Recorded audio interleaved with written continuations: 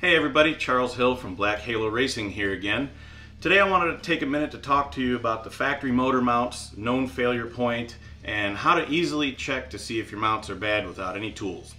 Uh, what I have here to my left is a factory aluminum motor mount arm from the right side of the engine. The exhaust manifold passes through this area here.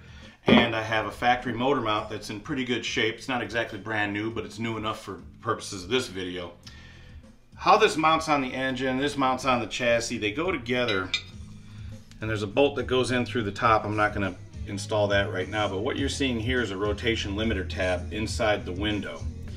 And what will happen over time is that as the motor mount area here softens and collapses, this tab will rise up in the window.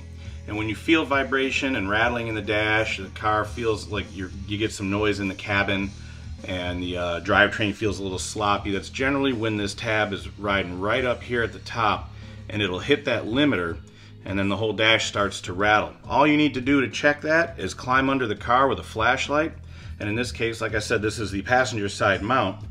You can get in there from uh, the wheel well and take a look and shine a flashlight right down here and your view would actually look something like that and you'll see that tab when it starts hitting the top of that window or getting pretty close you're in need of some new mounts if you were to mount a brand new black halo motor mount in place it would mount like that and there's no tab to be bothered with because now you can see the bushing. In the event that your bushing wears out you'll see it smash down but that doesn't tend to happen.